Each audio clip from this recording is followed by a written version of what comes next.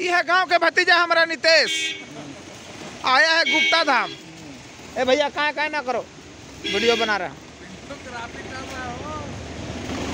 तो ये हमारा भतीजा जो है, आया हुआ है गुप्तेश्वर धाम, महा, गुप्तेश्वर महादेव का दर्शन करने के लिए। ये देखिए, ये है रास्ता। पहले आदमी पैदल जाता था, पैदल आता था, बहुत तकलीफ़ होता था। लेकिन अब वन विभाग वाला जो है रास्ता को बनवा दिया है। इतना बनवा दिया है कि गाड़ी पर चखले चखले आदमी चलाएगा ये देखिए ये देखिए ये यह कैमूर पहाड़ी का पहाड़। ये ऊपर देख रहे हैं। यह पहाड़ है। अगर अकबरपुर रोहतास होकर आइएगा तो यह पहाड़ के सीधे खटा खटा नीचे उतरना पड़ेगा। और हम लोग जो है सासाराम होकर के आए हैं।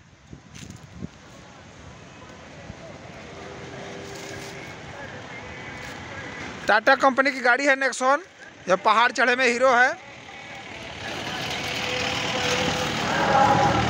ये दो गो हमारे और भाई लोग हैं, जो पहाड़े से हैं, गारू बेतला नेतरहाट से। मज़ा आया गुरु।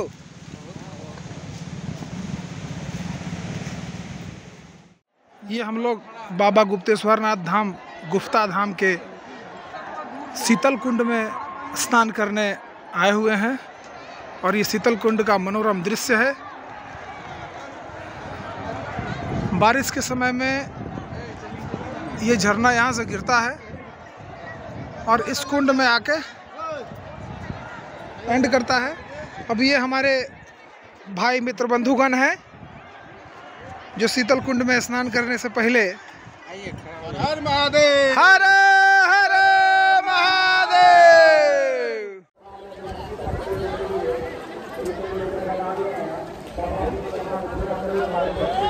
और इस तरह से हम लोग गुप्ता नाथ पहुँच चुके हैं।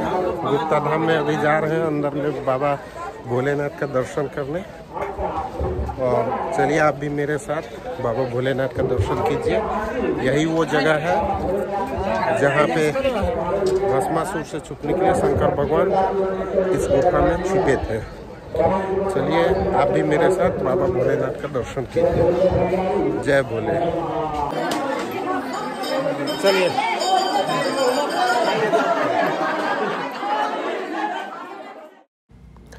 नमस्कार दोस्तों, आज मेरी यात्रा गुप्तेश्वर धाम अर्थात गुप्ता धाम के लिए है, जो कि शिव भगवान का बहुत प्रसिद्ध मंदिर है और यह रोहतास जिला मुख्यालय सासाराम से करीब पैंसठ किलोमीटर दूरी पर स्थित है, जो कि बिहार राज्य में पड़ता है।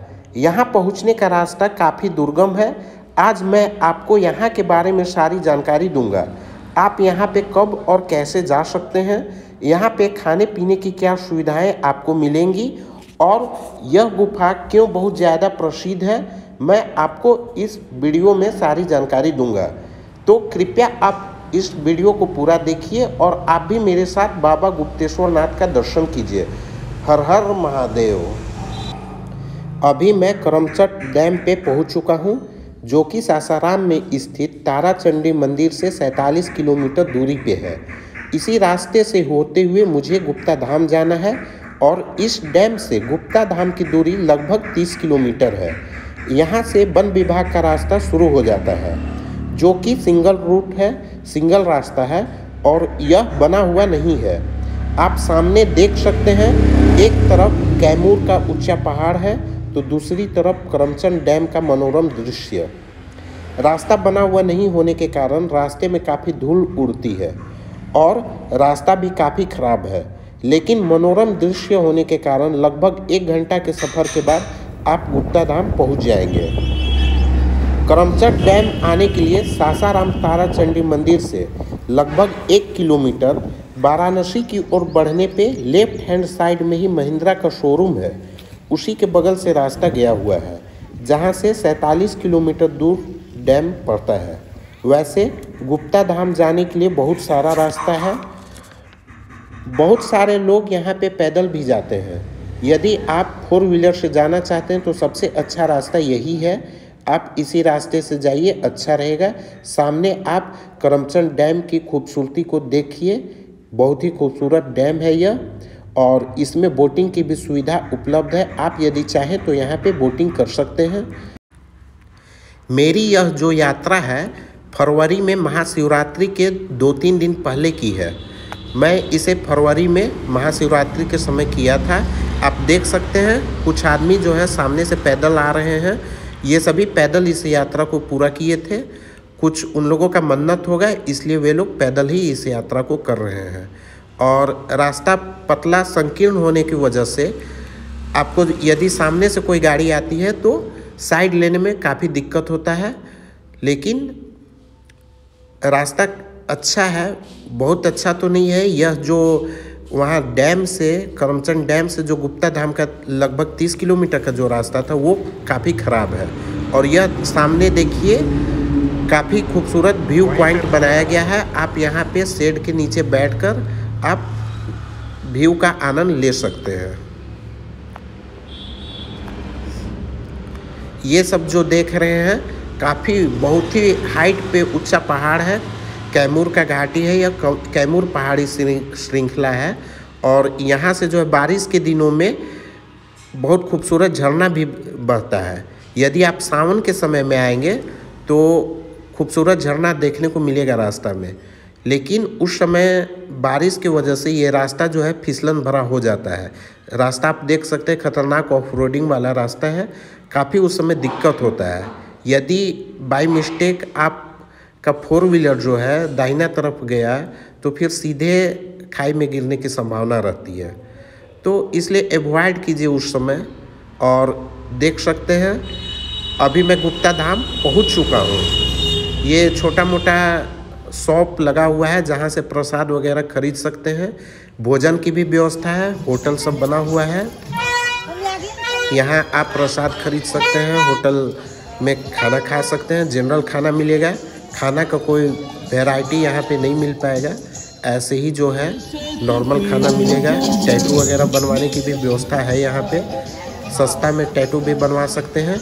और यहाँ जो आप देखें, उस जगह से जहाँ पे गाड़ी पार्क कीजिएगा, वहाँ से लगभग एक से डेढ़, एक किलोमीटर दूरी पे एक शीतल कुंड है, जिसे सीता कुंड भी कहा जाता है। वहाँ पे हम लोग अभी जा रहे हैं स्नान करने के लिए। मान्यता है वहाँ पे स्नान करके ही वहाँ से जल लेके शंकर भगवान के शिवलिंग पे जल चढ़ाना रहता है। और आप देख सकते हैं डस्ट से जो है मेरा बाल जो है सफ़ेद हो चुका है। और देखिए काफ़ी भीड़ है। वैसे यहाँ पे ग्रामीण की ही ज़्यादा भीड़ रहती है। ग्रामीण व्यक्ति ही ज़्यादा आते हैं। शहर के व्यक्ति उतना आते नहीं हैं। और यहाँ पे जाना भी काफ़ी डिफ़िकल्ट है, इसलिए उतना और पॉपुलर भी नहीं है। बिहार का गवर्नमेंट जो है टूरिस्ट पे टूरिज़्म पे ध्यान ही नहीं दे रही है। देख सकते हैं, ये सब रास्ता बना देना चाहिए था, लेकिन कोई ध्यान ही नहीं है गवर्नमेंट का। तो काफ़ी मतलब लगेगा आपको कि कोई ग्रामीण क्षेत्र में आप चले गए हैं देखिए कैसा डिफ़िकल्ट रास्ता है। इस रास्ता से होते हुए हम लोग शीतल कुंड पहुँचेंगे जहाँ पे हम लोग स्नान करके वहाँ से ही जल लेकर शंकर भगवान के मंदिर में अंदर जाएँगे गुफा के अंदर। देख सकते हैं आप। देखिए। छिप रहा है जी उधर। चलिए रिकॉर्डिंग करता कुंड के साथ कुंड को दिखने दीजिए। कुंड दिखाइए कुंड दिखाइए। वहाँ हमारे बड़े भैया अध्यक्ष महोदय जी उनको अध्यक्ष महोदय जी वहाँ समाज समाज के महिला अध्यक्ष।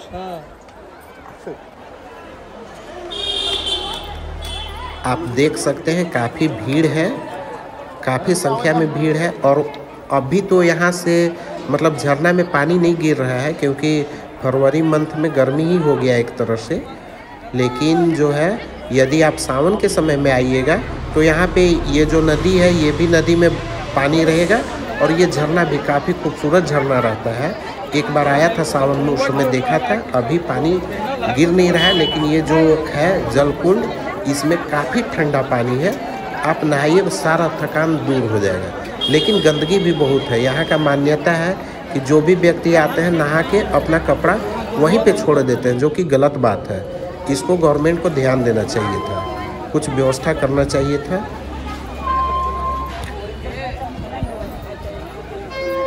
और अब भी हम लोग जल लेकर मंदिर की ओर प्रस्थान कर चुके हैं।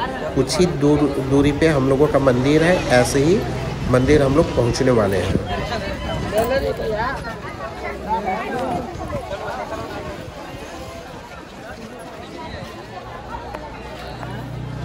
काफ़ी भीड़ है, लेकिन महाशिवरात्रि के दिन और बहुत ही ज़्यादा भीड़ हो जाता है। उस दिन जो है जल चढ़ाना काफ़ी डिफ़िकल्ट है उस दिन। लेकिन अभी ठीक है, ज़्यादा भीड़ नहीं है और गुफा के अंदर प्रॉब्लम भी होती है भीड़ की वजह से। हालाँकि वहाँ पे ऑक्सीजन की व्यवस्था कर दी गई है, लेकिन काफ़ी डिफ़िकल्ट है वो गुफा के अंदर। अभी मैं मंदिर के प्रांगण में पहुँच चुका हूँ। आप सामने देखिए, मंदिर का प्रांगण है यह। और भी भगवान का मंदिर, मूर्ति बना हुआ है। लेकिन जो यह विख्यात है, जिसके बारे में सभी जानते हैं, वो गुफा की वजह से ही है। मैं अभी अंदर, गुफा के अंदर जाके आपको शिवलिंग का भी दर्शन करवाऊँगा। वहाँ के अंदर का जो शिवलिंग है, बिल्कुल नेचुरल है। देखिए, अभी हम लोग गुफा के अंदर प्रवेश कर रहे हैं। यहाँ से शिवलिंग की दूरी तीन फीट है। आप देख सकते हैं, नेचुरल गुफा है, किसी भी तरह का आदमी के द्वारा बनाया गया यह गुफा नहीं है। यहाँ से तीन फीट अंदर जाने पे शंकर भगवान का शिवलिंग है, जो कि बिल्कुल नेचुरल है।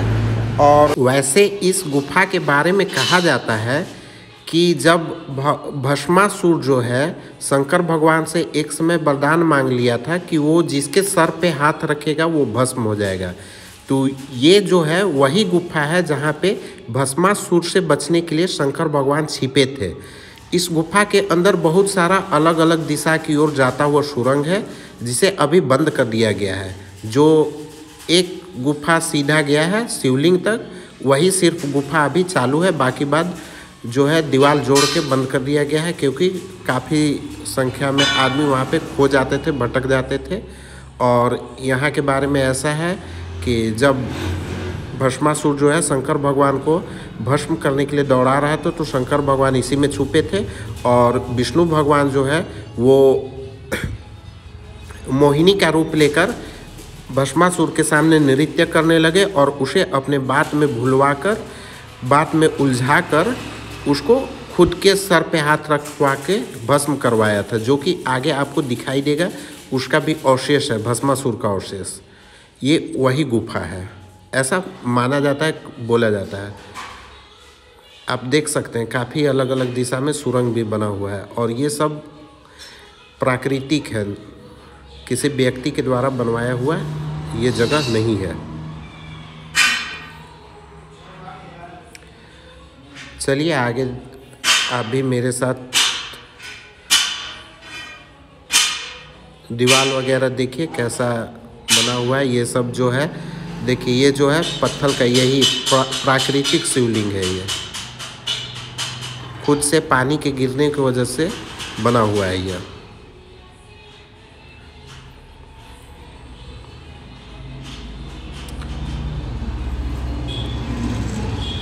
श्रद्धालुओं का बहुत ही ज़्यादा भीड़ होती है यहाँ पे स्पेशली सोमवार के दिन या फिर सावन के महीना में। सावन के महीना में यहाँ पे कांवर लेकर भी व्यक्ति पहुँचते हैं। बक्सर से यहाँ पे जल उठाकर कांवर श्रद्धालुगण जो है यहाँ पे आया करते हैं। यह और एक देखिए जो कि खुद से बना हुआ है।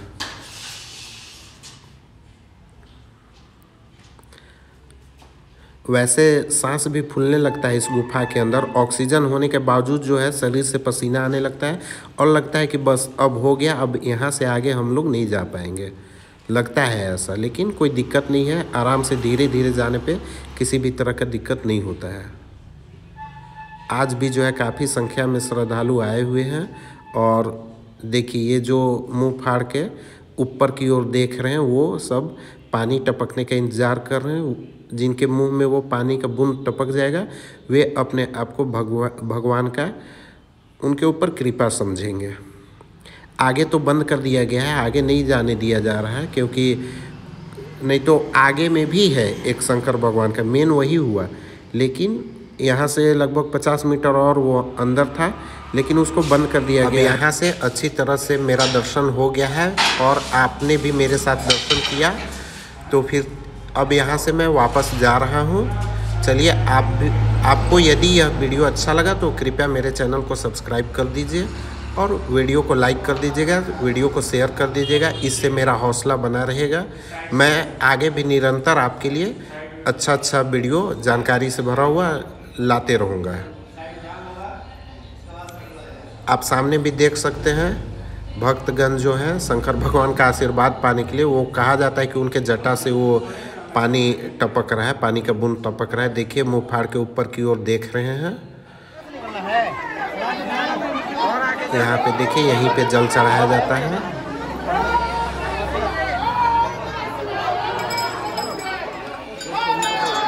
हर हर महादेव। बहुत ही अच्छा और एडवेंचरस जगह है। आप एक बार ज़रूर यहाँ पे विज़िट करें और एक बार जब विज़िट कर लीजिएगा तो प्रत्येक साल आप यहाँ पे आइएगा ही। मैं तो यहाँ तीन साल से कंटिन्यू आ रहा हूँ। फरवरी मंथ में आता हूँ महाशिवरात्रि के समय।